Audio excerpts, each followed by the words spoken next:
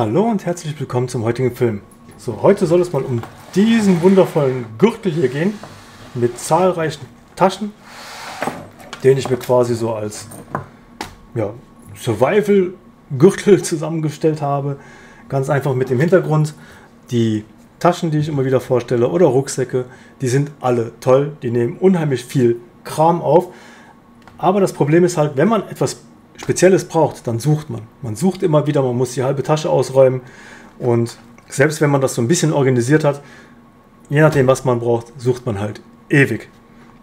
Deswegen habe ich mir gedacht, ich bestelle mir einfach mal so einen Gürtel hier. Ursprünglich wurde das mit so einem Gürtel hier geliefert. Ist natürlich auch okay, hat aber so eine, so eine hässliche Schnalle hier, die ich halt überhaupt nicht gefeiert habe. Das Ganze ist per Klettverschluss verstellbar, also auf übertriebenst billigste Art und Weise gemacht. Und deswegen habe ich mir den Gürtel hier bestellt. Ich zeige euch mal kurz den Verschluss hier. Das heißt, den kann man einmal auf Länge einstellen, über diese Klammern hier. Und dann steckt man den einfach so zusammen und das Ganze hält. Um den zu öffnen, drückt man die beiden Nasen hier wieder rein und dann kann man den wieder öffnen. Finde ich tatsächlich cool, weil es hat den Vorteil, man stellt halt einmal die Länge ein, ähnlich wie bei dem billigen Gürtel.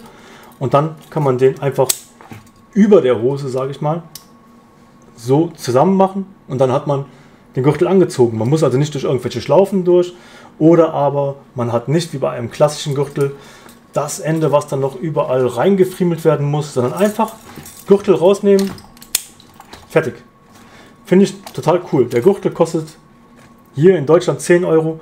Ich habe ihn in China-Shops für 4 Euro gesehen.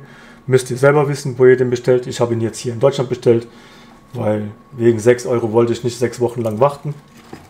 Aber der Gürtel ist natürlich nicht das Hauptaugenmerk, sondern ups, ich habe mir das Ganze bestellt, weil bei diesem billigen Gürtel eben diese ganzen Taschen dabei waren.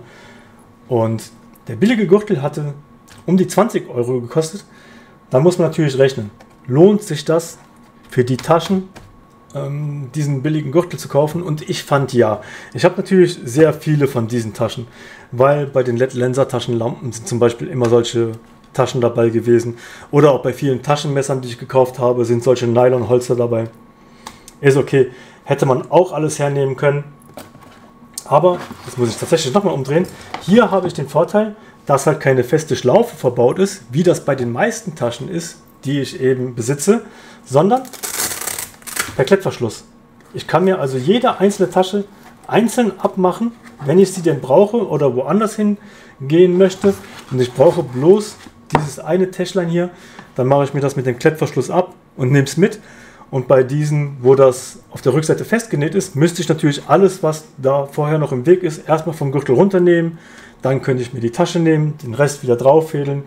Fand ich immer schon dumm. Und ich habe den Vorteil, wenn ich sage, okay, ich mache jetzt eine Tour, ich habe eigentlich immer noch einen Ledergürtel an, äh, ich will aber jetzt nicht den ganzen Gürtel mitschleppen, ich klette mir das hier ab, mache mir das an meinen Ledergürtel dran. Fertig. Was hier noch dabei war, äh, sorry, Moment, stimmt nicht. Dabei waren zum einen diese Taschen hier, die ihr jetzt hier sehen könnt. Diese sechs. Das ist natürlich mein Victor, äh, Victorinox Venture Pro, das gehörte nicht dazu.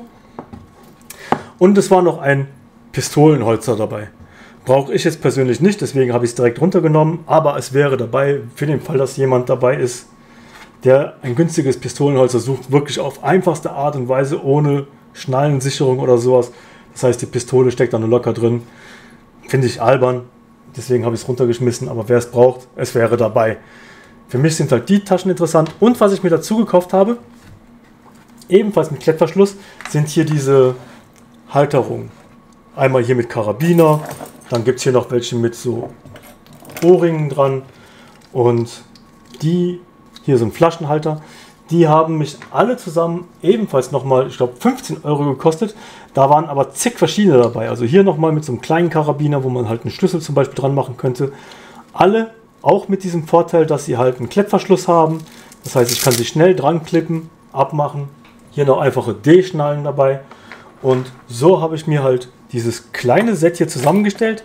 Und wenn man das mal zusammenrechnet, Alles zusammen mit den Sonderschnallen, mit dem extra Gürtel und den ganzen Taschen bin ich vielleicht bei 30, 35 Euro. Klingt im ersten Moment viel. Auf der anderen Seite, wenn ich mir eine gute Hüfttasche kaufe, bin ich auch bei ungefähr 40 bis 50 Euro, je nachdem.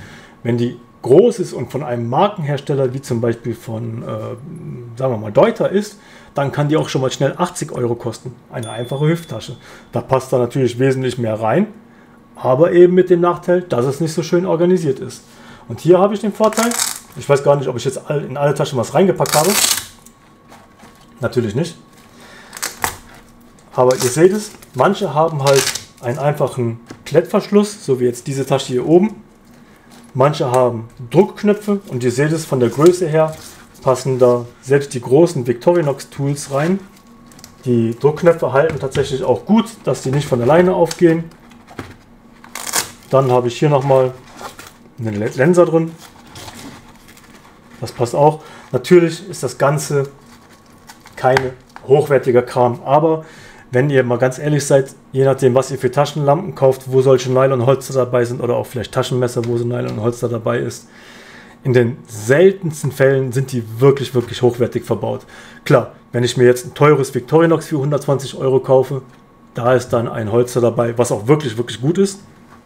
In der Regel sogar ein Lederholster. Das habe ich auch sehr oft bei den ähm, Leatherman Tools gehabt, dass da ein cooles Holster dabei war. Aber meistens ist es wirklich so, wenn dann so ein Nylonholster dabei ist, ja, dann ist das der, der billigste Klump, weil es einfach nur ein, ein Gadget ist, ein Gimmick. Das wird halt nur mit dazugegeben, damit es noch ein Verkaufsargument mehr gibt, sich dieses billige Messer im Lidl Norma oder sonst wo zu kaufen für 7,99. Wirklich Qualität haben die Taschen dann nicht. Und hier ist es auch der Fall. Es reicht, um Sachen transportieren zu können. Von der Größe her passt ordentlich was rein. Hier ist übrigens meine wasserdichte Notfallbox. Die hatte ich in einem der letzten Videos vorgestellt. Da wird bald ein neues Video dazu kommen, denn ich habe noch größere von diesen Dosen gefunden, die ich tatsächlich richtig cool finde. Aber ich will jetzt nicht zu sehr abschweifen, sondern möchte einfach nur mal zeigen, was hier so grob reinpasst. Und dann haben wir die letzte Tasche hier hinten noch. Die ist dann wieder mit Klettverschluss. Da habe ich mein Rack drin mit ein bisschen Geld, ein kleines Notfallfeuerzeug. Hier wäre ein Kreditkartenetui, noch etwas Klebeband, ein Maßband. Und das passt halt ganz gut da rein. Und die Tasche geht dann am Ende sogar auch wieder zu. Hier ist natürlich der Vorteil der Klettverschluss. Dem ist es egal, ob die Tasche jetzt hier oben zugemacht wird, es hält, oder ob ich sie eben ganz unten zumache. Dazu dann halt noch die Karabiner, wie hier bereits erwähnt, beziehungsweise die Ohrringe, wo ich ebenfalls nochmal etwas befestigen könnte. Oder aber auch hier dieser Flaschenhalter, was ich unheimlich praktisch finde. Denn ich könnte mir hier wirklich alles dran packen, was ich so für ein oder zwei Tage vielleicht brauche an Werkzeug. Natürlich könnte ich jetzt hier auch eins rauslassen und dafür dann Notfallnahrung reinpacken oder einfach so ein paar Riegel für unterwegs. Von der Größe her ist der Gürtel auch ausreichend, dass das Victorinox Venture Pro da dran passt. Wobei hier könnte sogar der Gürtel noch etwas breiter sein. Der Gürtel ist 40 mm breit. Hier würde also auch zumindest für das Victorinox Venture Pro würde sogar ein 60er Gürtel problemlos gehen. Aber das ist ja eine andere Geschichte. Einfach nur mal eine Alternative gegenüber den ständigen Taschen, die man dabei hat. Hier kann man sich einmal diesen Gürtel so zusammenpacken, wie man ihn braucht oder mit den Sachen, wo man halt für wichtig hält. Und wenn es darauf ankommt, kann man sich den einfach umschmeißen, zuklippen, fertig, man hat alles dabei.